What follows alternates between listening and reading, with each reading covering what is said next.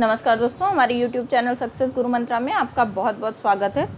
आ, दोस्तों सबसे पहले तो आपके अच्छे अच्छे कमेंट्स के लिए आपका बहुत बहुत धन्यवाद। जब मैं थोड़ा पहले वीडियो बना के रख लेती हूँ तो नाम नहीं पढ़ पाती हूँ तो वो मैं आ, आगे पीछे आप लोगों को ज़रूर नाम पढ़ूँगी और उत्तर देने में थोड़ा सा समय लग जाता है थोड़ी व्यस्तता ज़्यादा है ठीक है? चलिए आज का वीडियो शुरू करते हैं। आज हम बात करेंगे तोष निधि की ठीक है? ये आ, अब तक हम लोग रीतिकालीन चौबीस कवियों के बारे में पढ़ चुके हैं। आज तोष निधि की बात करते हैं। ये एक प्रसिद्ध कवि हुए हैं ठीक है? ये श्रृंगवेरपुर यानी सिंगरौर जिला इलाहाबाद। तोष निधि कहाँ थे? के थे? इलाहाबाद के। के रहने वाले चतुर्भुज शुक्ल के पुत्र थे ठीक है?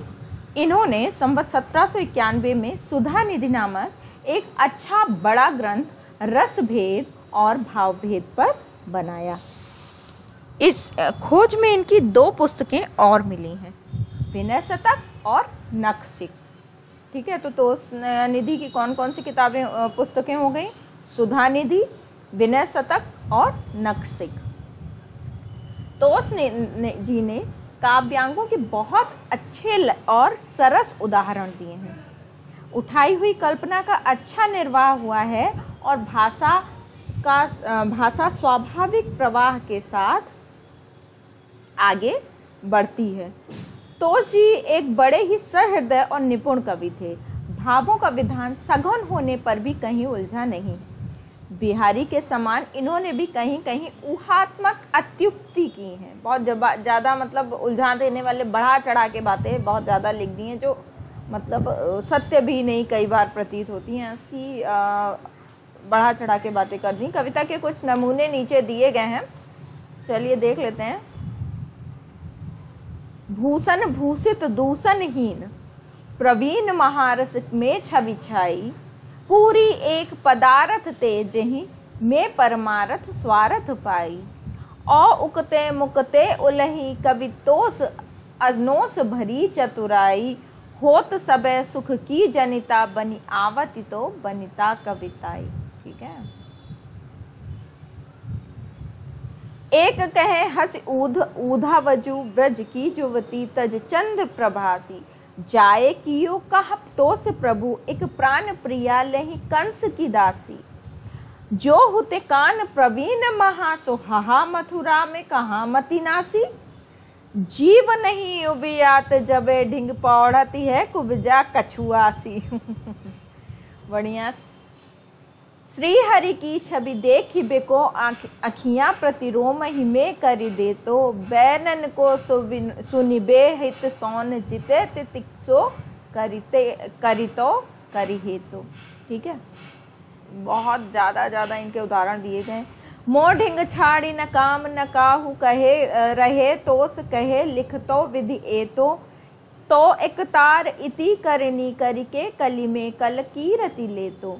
तो तन में रवि को प्रतिबिंब परे किरण तो सो घन सरसाती, भीतर हूँ रह जात नहीं, अखियाँ चौंदी हवे जति राती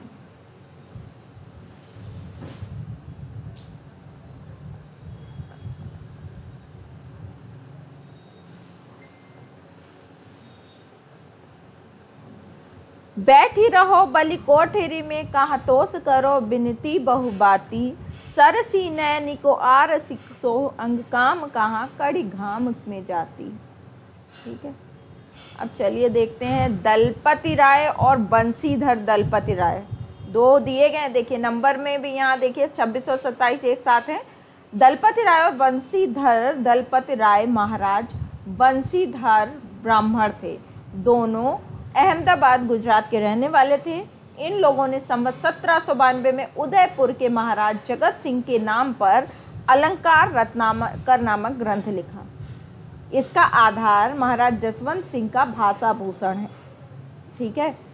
दलपति राय और बंसीधर दलपति राय ठीक है? दोनों ने एक ही ग्रंथ लिखा अलंकार अलंकार रत्नाकर। अब यहाँ देखिए, ये प्रश्न गंभीर हो जाता है। आप इसमें गलती मत करिएगा। दो लोगों ने मिलकर इसको लिखा था। इसका भाषा भूषण के साथ प्राय वही संबंध है जो कुबलेयानंद का चंद्रालोक के साथ।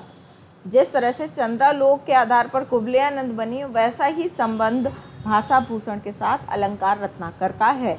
ये प्रश्न पूछा जा सकता है आपसे कोर्ट में।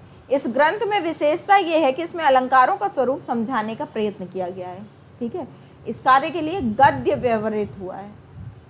क्योंकि रीति काल में गद्य लिखा नहीं गया था तो जहाँ पे भी थोड़ा बहुत गद्य व्यवहित हुआ है वो थोड़ा विशेष हो जाता है। रीति काल के भीतर व्याख्या के लिए कभी भी गद्य का उपयोग कुछ ग्रंथकारों ने सम्यक निरूपण की उत्कंठा सम्यक निरूपण की उत्कंठा सूचित करता है। मतलब ये गद्यकार एक अच्छा काव्यांगों का निरूपण करना चाह रहे थे या का, का मतलब का हाँ काव्यांगों का निरूपण सही से करने जा रहे थे। ऐसी उनके मन में इच्छा थी। इसलिए इन्होंने, जो काम पद्य में नहीं ठीक से हो पा रहा था तो उन्होंने गद्य भी कुछ लिया, कुछ गद्य का भी उपयोग किया। सॉरी इस उत्कंठा के साथ ही साथ गद्य की उन्नति की आकांक्षा का सूत्रपात भी समझना चाहिए, जो सैकड़ों वर्ष बाद पूरी हुई। मतलब आप यहाँ से समझ सकते हैं कि जो गद्य की उन्नति का सूत्रपात यहाँ से हो गया था, लेकिन ये आकांक्षा पूरी कब हुई? सैकड़ों वर्षों बाद, है ना? अलंकार रत्नाकर में उदाहरणों पर अलंकार घटा कर बताए गए हैं। उदाहरण दूसरे अच्छे कवियों के भी बहुत से हैं। इनसे ये अध्ययन के लिए बहुत उपयोगी है। दंडी आदि कई संस्कृत आचार्यों के भी उदाहरण लिए गए हैं। इन्होंने कई, क्योंकि कवियों के उदाहरण एक साथ ले लिए हैं तो ये थोड़ा उपयोगी, अध्ययन के लिए, पढ़ने के लिए, शिक्षा के लिए उपयोगी हो गए। हिंदी कवियों की लंबी नामावली ऐतिहासिक खोज में बहुत उपयोगी है। जब आप कहीं से किसी ग्रंथ में किसी के उदाहरण और कुछ बातें लेते हैं तो उसका थोड़ा ऐतिहासिक महत्व भी बढ़ जाता है, साहित्य इतिहास में भी उसका महत्व बढ़ जाता है। कभी भी ये लोग अच्छे थे, ये दोनों की बात हो रही है। पद्य रचना की निपुणता के अतिरिक्त इनमें भावुकता और बुद्धि वैभव दोनों हैं, ठीक है? क्या बात है, दोनों एक से थे। ट्विंस थे शायद, इनका एक कवित्व नीचे दिया जाता है। देख लेते हैं। अभी समझ नहीं आता इसमें कौन सा अक्षर, कौन सी लाइन किसने लिखी होगी। अरुण हरोल नभ मंडल मुलुक पर चढ़ियो अक अक, अकवे की तानी के किरण कोर। आवत ही सावत नक्षत्रा जोए धाए धाए, घोर घम सान करी, काम आए ठोर ठोर। ठीक है? सस हर सेत भयो, सट क्यों सहम ससी? अमील उलूक जाए गिरे कर, कद रन और धुंधी देखी अरबिंद बंदी खाने ते भगाने पायक पुलिंद है वे मलंदी, मलिंद मकरंद चोर। ठीक है, छब्बीस, सत्ताईस दोनों एक साथ हैं, उदाहरण भी इनके काम है। देखिए, दोनों ने इतने में ही निपटा दिया। अब बात करते हैं सोमनाथ जी की। सोमनाथ ये माथुर ब्राह्मण थे और भरतपुर के महाराज वदन सिंह के कनिष्ठ पुत्र प्रताप सिंह के यहाँ रहते थे। इन्होंने संवत सत्रह में रस पीयूष निधि नामक रीति ग्रंथ का एक विस्तृत ग्रंथ बनाया, जिसमें पिंगल लक्षण काव्य लक्षण, प्रयोजन, भेद, शब्द शक्ति, ध्वनि, भाव, रस, रीति, गुण, दोष इत्यादि सब विषयों का निरूपण। है यह दाजी के काव्य निर्णय से बड़ा ग्रंथ है। काव्य निरूपण में ये श्रीपति और दास जी के समान ही हैं। समझिएगा, काव्य निरू, काव्यांग निरूपण में ये किसके समान है? श्रीपति और दास जी के। अगर यही बारीक चीज़ पूछ दी गई तो आप अटक जाएँगे। विषय को स्पष्ट करने की प्रणाली इनकी बहुत अच्छी है। ठीक है? विशेषताओं को ध्यान रखना है हमें। शुक्ल जी की पुस्तक देखिए, आप जिस परीक्षा की तैयारी कर रहे हैं, जिस पोस्ट की तैयारी कर रहे हैं, जहाँ चाहना, जाना चाह रहे हैं, वो भी कोई बहुत आम जगह नहीं है ना? वो भी बहुत खास जगह है, इसलिए मेहनत भी उसके लिए ज़्यादा ही लगनी है। शुक्ल जी की पुस्तक वास्तव में थोड़ा पढ़ने में समस्या है, लेकिन अगर आप वाकई में जाना चाह रहे हैं तो आपको कहीं ना कहीं देखना पड़ेगा। विषय निरूपण के अतिरिक्त कवि कर्म में भी ये सफल हुए हैं। कविता में ये अपना उपनाम शशिनाथ रखते थे। ध्यान रखिएगा, उपनाम में बहुत इंपॉर्टेंट हो जाता है। सोमनाथ नहीं, शशिनाथ रखते थे ये। भी रखते थे। इनमें भावुकता और सहृदयता भी पूरी थी, वो तो सब में मिल जाती केशव और एक आध को छोड़ के। इससे इनकी भाषा में कृत्रिमता नहीं आने पाई है। इनकी एक अन्योक्ति कल्पना की मार्मिकता और प्रसाद पूर्ण व्यंग के कारण बहुत प्रसिद्ध है। इंपॉर्टेंट हो गया, ठीक है? अन्योक्ति कल्पना की मार्मिकता और प्रसाद पूर्ण व्यंग के कारण ये प्रसिद्ध है। सघन और पेचीले मजमून गांठने के फेर में ना पड़ने के कारण इनकी कविता को साधारण समझना सहृदयता के सर्वथा विरुद्ध है, ठीक है? रस पीयूष निधि के अतिरिक्त खोज में इनके तीन ग्रंथ और भी मिले हैं, वो भी देख लेंगे। ये देखें यहाँ पे, यहाँ जो पेचीले मजमून, मुझे समझ नहीं आता ये कहाँ से शब्द कभी कभी शुक्ला जी भी उठा लेते हैं। चलिए श्री कृष्ण लीलावती पंचाध्यायी अठारह सौ में लिखा था, सुजान विलास, पद्य में 1807 में माधव विनोद नाटक, ठीक है, माधव विनोद नाटक 1809 में। उक्त ग्रंथों के निर्माण काल की ओर ध्यान देने से इनका कविता काल 1790 से 1810 के बीच में ठहरता है। रीति ग्रंथ और मुक्तक रचना के सिवाय इस सत कवि ने प्रबंध काव्य की ओर भी ध्यान दिया है। सिंहासन बत्तीसी के अनुवाद को यदि हम काव्य ना माने तो कम से कम पद्य प्रबंध अवश्य ही कहना पड़ेगा। माधव विनोद नाटक, शायद मालती माधव नाटक के आधार पर लिखा हुआ प्रेम प्रबंध है। पहले कहा जा चुका है कि कल्पित कथा लिखने की प्रथा हिंदी के कवियों में प्राय नहीं के बराबर है। ज़्यादातर हिंदी के कवि ऐतिहासिक वृत्तांत ही लिखते रहे हैं, जो इतिहास में था। कल्पना का मतलब कल्पित कथाएँ कम लिखी हैं इन्होंने। जहांगीर के समय संवत सोलह में बना पुहकर कवि का रस रत्न अब तक नाम लेने योग्य कल्पित प्रबंध काव्य है। बहुत इंपॉर्टेंट लाइन है ये। बहुत अच्छे से ध्यान रखिएगा, ठीक है? पुहकर का जो कवि रस रत्न है, ये अब तक अब तक नाम लेने योग्य कल्पित प्रबंध काव्य है। रस रत्न क्या है? कल्पित प्रबंध काव्य है पुहकर का। अतः सोमनाथ जी का यह प्रयत्न उनके दृष्टि विस्तार का परिचायक है। नीचे सोमनाथ जी की कुछ कविताएँ दी हैं। ठीक है?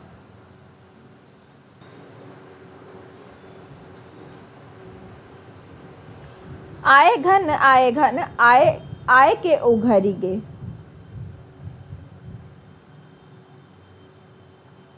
प्रीति नई नित्य कीजत है प्रीति नई नित कीजत है, सब सो छल की बरतानी परी है। सीखी ढिठाई कहाँ ससीनाथ?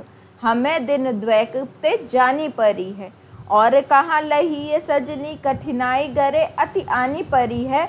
मानत है बर्जियो न कुछ, अब ऐसी सुजान बानी की, सुजान ही बानी, ऐसी सुजान ही बानी परी है। झमकत बदन मतंग कुंभ उत्तंग अंगवार बदन बलित भूसुंड कुंडलित सुंड सिद्धिधार कंचन मणि में मुकुट जगमगय सुघर शीस पर लोचन तीन विशाल चार भुज ध्यावत सुरनर शशिनाथ नंद स्वच्छंद निति कोटि बिघन छर छर छंद हर जय बुद्धि बलिंद अमिंद दुत इंदु भाल आनंद कर अब चलिए बात करते हैं रसलीन की। ये थोड़ा सा इम्पोर्टेंट है। रसलीन, इनका नाम सैयद मोहम्मद, सैयद गुलाम नबी था। रसलीन का नाम सैयद सैयद गुलाम नबी था। मोहम्मद पता नहीं कहाँ से आ रहा बार बार ये प्रसिद्ध बिलग्राम जिला हरदोई के रहने वाले थे, जहाँ अच्छे विद्वान मुसलमान होते आए हैं। अपने नाम के आगे बिलग्रामी लगाना एक बड़े सम्मान का की बात यहाँ के लोग समझते थे। गुलाम नबी ने अपने पिता का नाम बदलकर बाकर लिखा है। लो, इन्होंने अपने पिता का नाम बदलकर बाकर लिखा है। इन्होंने अपनी प्रसिद्ध पुस्तक अंग दर्पण, संवत सत्रह सौ चौरानवे में लिखी, जिसमें अंगों का उत्मा उत्प्रेक्षा से चमत्कार पूर्ण वर्णन है। सूक्तियों के चमत्कार के लिए यह ग्रंथ काव्य रसिकों में बराबर विख्यात चला आया है। ये प्रसिद्ध दोहा, जिसने जन साधारण बिहारी का समझते हैं, अंग दर्पण का ही है। अब क्योंकि कन्फ्यूज़न रामचंद्र शुक्ल जी को लगता है तो बाकी लोगों के लिए तो लगता ही होगा, इसलिए बहुत इम्पोर्टेंट हो गया आपके लिए। अमी हला हलमत भरे सेत श्याम रत्ना जियत मरत झुक झुक परत जे चितवत एक बार। मुझे लगता है शुक्ल जी को ही ऐसा लगता था। आप सब जान रहे हैं कि ये रसलीन का है। अंग दर्पण के अतिरिक्त रसलीन जी ने संवत सत्रह में रस प्रबोध नामक रस निरूपण का ग्रंथ दोहों में बनाया। इसमें 1155 दोहे हैं और रस भाव नायिका भेद, सट ऋतु, बारह मासा आदि अनेक प्रसंगाएँ हैं। रस विषय का अपने ढंग का ये छोटा सा ग्रंथ है। रसली ने स्वयं कहा है कि इस छोटे से ग्रंथ को पढ़ लेने पर रस विषय जानने के लिए और ग्रंथों के पढ़ने की आवश्यकता नहीं रहेगी। समझ रहे हैं आप? इम्पोर्टेंट हो गया। अगर इसको रस विषय के इस ग्रंथ छोटे से ग्रंथ को ही पढ़ लेंगे तो और कुछ नहीं पढ़ना पड़ेगा आपको रसों का अच्छा ज्ञान हो जाएगा। पर ये ग्रंथ अंग दर्पण जैसा प्रसिद्ध ना हो पाया। ठीक है? फिर भी ये अंग दर्पण जैसा प्रसिद्ध नहीं हो पाया जबकि ये आ, उनके खुद के हिसाब से भी ज़्यादा अच्छा था। होता है लोगों की मर्ज़ी। रसलीन ने अपने दोहों की रचना तक अपने को दोहों की रचना तक ही रखा। इसमें पदावली की गति द्वारा नाथ सौंदर्य का अवकाश बहुत ही कम रहता है। अतः चमत्कार और उक्त वैचित्र की ओर इन्होंने अधिक ध्यान दिया। इनके कुछ नीचे, दोहे नीचे दिए जा रहे हैं। देख लीजिए। संभव नहीं है तो आप इनको देख लीजिएगा। पूछे कम ही गए अभी तक। हम बात करेंगे रघुनाथ जी की। ये बंदीजन एक प्रसिद्ध कवि हुए हैं, जो काशी राज महाराजा बरबंड सिंह की सभा में को सुशोभित करते थे। रघुनाथ जी किसकी सभा को सुशोभित करते थे? बरिबंड सिंह की वाह। काशी नरेश ने इन्हें चौरा ग्राम दिया था। इनके पुत्र गोकुलनाथ, पौत्र गोपीनाथ और गोकुलनाथ के शिष्य मणिदेव ने महाभारत का भाषानुवाद किया, जो काशी राज के पुस्तकालय में है। ठाकुर शिव सिंह ने इनके चार ग्रंथों के नाम लिखे हैं। कौन कौन से ग्रंथ हैं? काव्य काव्य कलाधर रसिक मोहन, जगत मोहन, इश्क महोत्सव। बिहारी सत्सई की एक टीका का भी इन्होंने उल्लेख किया है। इनका कविता काल 1790 से 1810 तक समझना चाहिए। रसिक मोहन, सत्रह अलंकार का ग्रंथ है। इसमें उदाहरण केवल श्रृंगार के ही नहीं है, वीर आदि अन्य रसों के भी बहुत हैं।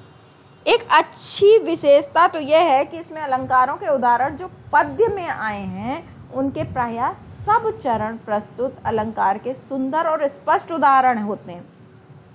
अभी तक कई कवियों के बारे में शुक्ल जी ने बताया कि उनके उदाहरण भी उतने सही और स्पष्ट नहीं है जो अपनी बात पूरी कह सके। लेकिन इनके बारे में बताया जा रहा है कि जो इनके अलंकार के उदाहरण हैं, वो सुंदर और स्पष्ट हैं। इस प्रकार इनके कवित्व या सवैये का सारा कलेवर अलंकार को उद्धृत करने में प्रयुक्त हो जाता है। भूषण आदि बहुत से कवियों ने अलंकारों के उदाहरण जो पद्य में रखे हैं उनका अंतिम और कोई चरण ही वास्तव में उदाहरण होता है। मतलब इनके सारे चरण एक अच्छा उदाहरण है। बाकी लोगों ने जो रखा उनमें पता, पता चलता है जितनी बात इन्होंने कही उसका सही में उदाहरण खाली उसका अंतिम चरण है। बाकी सब ऐसे ही कह डाला। उपमा के उदाहरण में इनका यह प्रसिद्ध कवित्व लीजिए। भाई, रीतिकाल के कवित्व पढ़ते पढ़ते तो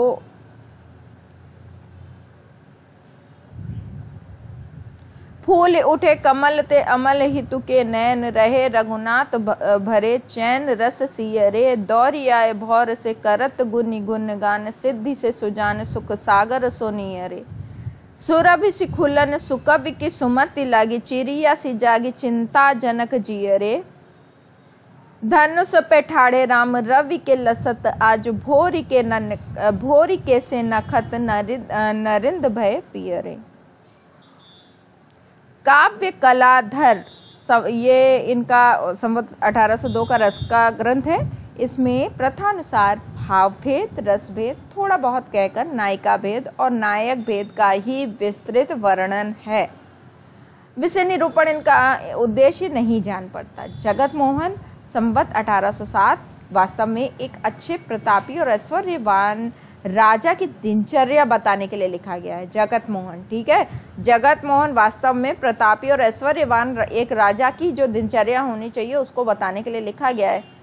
इसमें भगवान कृष्ण भगवान के 12 घंटे की दिनचर्या कही गई है। काव्य कलाधर में ध्यान रखिएगा। काव्य कलाधर में भगवान श्री कृष्ण के 12 घंटे की दिनचर्या कही गई है। ऐसे प्रश्न पीजीटी में कई बार पूछे गए हैं। दिनचर्या, राम की दिनचर्या पूछी गई थी। तो कृष्ण की भी आप याद कर लीजिएगा। काव्य कलाधर में। अब रीति काल में है तो कृष्ण की ही होएगी। राम की कहाँ इन लोगों को पसंद आएगी? इसमें ग्रंथकार ने अपनी बहुज्ञता अनेक विषयों जैसे राजनीतिक, समुद्रिक, वैद्यक, ज्योतिष सालिहोत्रा मृगिया, सेना, नगर गढ़ रक्षा पशु पक्षी शतरंज इत्यादि के विस्तृत और अरोचक वर्णनों द्वारा प्रसिद्ध मतलब प्रदर्शित किए। विस्तृत और अरोचक वर्णनों द्वारा, ठीक? इस प्रकार वास्तव में पद्य होने पर भी यह काव्यांग ग्रंथ नहीं है। मतलब लिखा तो पद्य में गया है, लेकिन ये काव्य ग्रंथ नहीं कहा जा सकता है। इश्क महोत्सव में अपनी खड़ी बोली की रचना का शौक दिखाया, शौक चढ़ा तो उन्होंने इश्क महोत्सव लिख दिया खड़ी बोली में। इससे सूचित होता है कि खड़ी बोली की धारणा तब तक अधिकतर हिंदू के, उर्दू के रूप में ही लोगों को थी। है ना? उस समय तक जो खड़ी बोली थी वो उर्दू के रूप में ही लोगों की धारणा में थी। कविता के कुछ नमूने उद्धृत किए जाते हैं।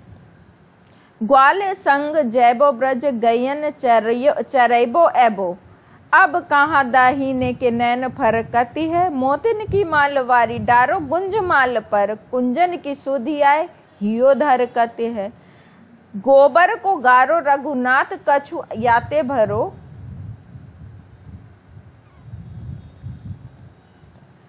कहाँ भयो महला नि मनी मरे कती है? मंदिर है मंदिर ते ऊँचे मेरे द्वारिका के। मंदिर है, मंदिर ते ऊँचे मेरी द्वारिका के बच के ब्रज के खरिक ते हुए खरकत हैं। कींधो शेष देश ते निकसी पुहुम पे पुहुमी पे आई, बदन ऊंचाए बानी रस, जस असपंद की। कींदो छीती चावरी, उसीर की दिखावती हैं, ऐसे सोहे उज्जवल किरण जैसे चंद की। जानी दिन पाल श्री नृपाल नंद लाल जू को कहे, रघुनाथ पाए सुघरी अनंत की, छूटत फुहारे केंदो फूल, फूलो है कमल तासो, कमल अमंद बढ़े धार्मक रंद की। हे भगवान, सुघर सिलाह राखे, वायु वेग वाह राखे, रसद की राह राखे, राहे, राखे रहे बहन को चोर को समाज राखे, बजा और नज़र राखे, खबरी को काज बहुरूपी हर फन को। आगम भखैया राखे, सगुन लिवैया राखे, कहे रघुनाथ तो और विचार बीची मन को। बाजी हारे कबहू न अवसर पे परे जौन। ताची राखे परजन को, राज़ी सुभटन को, ठीक है? आप दरियाव पास नदियों के जाना नहीं, दरियाव पास नदी हो गई, सो धावेगी। दे, देर खत खेली आस रत को कभी न, कभी राखता न। दर खत ही के आगे आसरे को बेली पावेगी। मेरे तो लायक जो था कहना सो कहा मैंने। रघुनाथ मेरी मति न्याव ही की गावेगी। वह मुमताज़ आपकी है आप उसके ना। आप क्यों चलोगे वह आप पास आवेगी।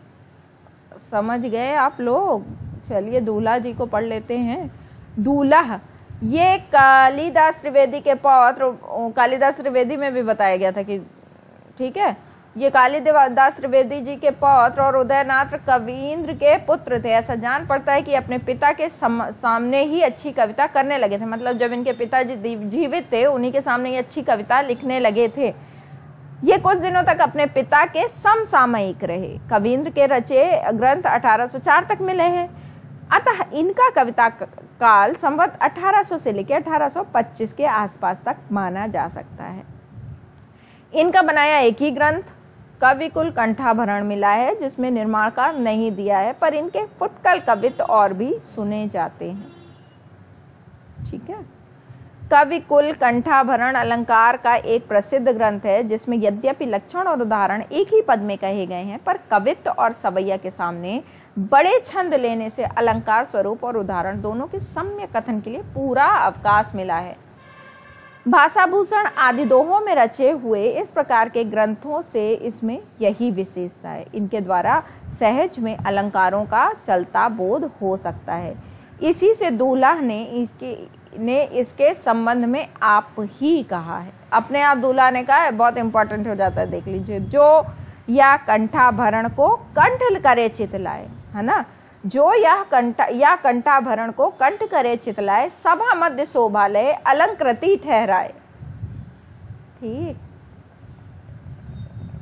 खुद ही इतनी महत्वता बता दी है उन्होंने, ध्यान रखिएगा।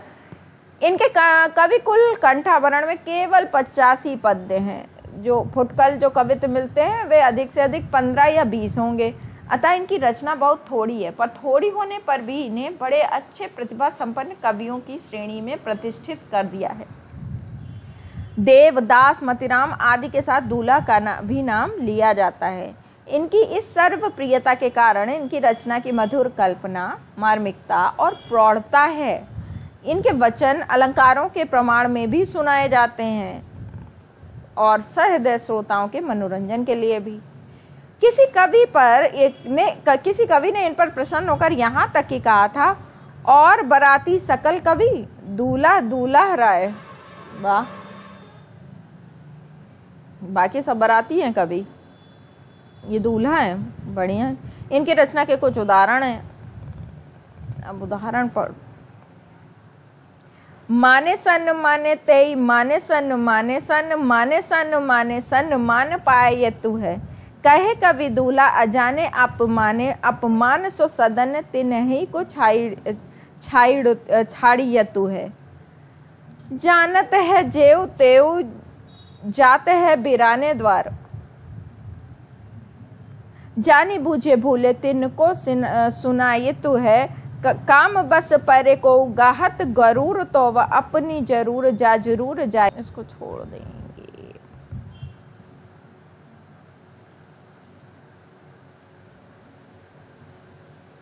भाई, इन्होंने भी बहुत लंबा चौड़ा लिखा है। आप इनको खुद देख लीजिएगा। इतना सारा पढ़ते पढ़ते तो वीडियो अकेले इन्हीं के उसमें चला जाएगा, ठीक है?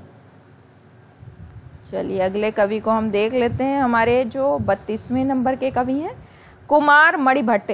इनका कुछ व्रत ज्ञात नहीं है। इन्होंने संबत 1803 के लगभग रसिक रसिक रसाल नामक एक बहुत अच्छा रीति ग्रंथ बनाया था। ग्रंथ में इन्होंने अपने को हरिवल्लभ का पुत्र कहा है। शिव सिंह ने इन्हें गोकुलवासी का इनका सवैया देखिए। दावे वधु मुधरे सुर गीतन, प्रीतम संग न बाहर आई, छाई कुमार नई छिति में छवि मानो बछाई नई दरी आई। ऊँचे अटा चढ़ी देख कहूँ दिशि बोली यो बाल गरो अभिराई कैसी करो हर हरो हियरे हरि आए न उलही। हरि आए नहीं, उलही हरि राई। ठीक है? शंभुनाथ मिश्र, इस नाम के कई कवि हुए हैं, जिनमें एक संबत 1806 से एक 1806 में, दूसरे अठारह में, तीसरे 1901 में हुए हैं। यहाँ प्रथम का उल्लेख किया जा रहा है, यानी 1806 वाले का। इन्होंने रस, कल्लोल, रस तरंगिणी और अलंकार दीप नामक तीन रीति ग्रंथ बनाए हैं। ये असोधर जिला फतेहपुर के राजा भगवंत राय खींची के यहाँ रहा करते थे। अलंकार दीप में अधिकतर दोहे हैं, कवित्व समैया कम। उदाहरण, श्रृंगार वर्णन में अधिक प्रयुक्त न होकर आश्रय आश्रयदाता राजा के यश और प्रताप वर्णन के अधिक प्रयुक्त हैं। ठीक है? श्रृंगार रस कम है। आश्रयदाता राजाओं का यश और प्रताप वर्णन ज़्यादा है। आजु चतुरंग महाराज सेन साजत ही धौसा की धुकार धूरी परी मुँह माई के। भय के अजीरन के जीरन उजीर भय, सूल उठी उर में अमीर जाही ताही के। भीर खेत बीच बचही को बीर, बीरु झानो इते, धीरज न रहो शंभु कौन हूँ सिपाही के। भू, भूप भगवंत वीर ग्वाही है खलक सब स्याही, लाई वदन तमाम पात साही के। ठीक है? चलिए, इन्हें भी देख लेते हैं। शिव शिव सहायदास, ये जयपुर के रहने वाले थे। इन्होंने 1809 में शिव चौपाई और लोकोक्ति रस कौमुदी नामक दो ग्रंथ बनाए थे। लोकोक्ति रस कौमुदी की विचित्रता ये है कि पखानों या कहावतों को लेकर नायिका भेद कहा गया है। जैसे मतलब कहावतों का प्रयोग किया गया है नायिका भेद कहने में। करो रुखाई नहीं बाम बेगी, ले आओ ले आओ घनश्याम। कहे पखानो भरी अनुराग, बाजी तात की बूझियो राग। बोले, निठुर पिया बेन, बिन दोष, आपो ही ती बैठी गई रोस कहे पखानो, जेही गही मौन, बेल न कुद्यो कूदी गौन। चलिए, अब आगे की बात हम अपने अगले वीडियो में करेंगे रूप शाही जी से, ठीक है? तब आप लोगों का साथ बनाए रखने के लिए आप लोगों का बहुत बहुत धन्यवाद। कमेंट्स करते रहिएगा ज़्यादा से ज़्यादा शेयर करिएगा। अगर मेरा इतनी देर तक चिल्लाना आपको अच्छा लग रहा हो, आपके किसी काम आ रहा हो तो वीडियो को लाइक कर दीजिएगा, ठीक है? बहुत बहुत आप सभी का धन्यवाद। नमस्कार।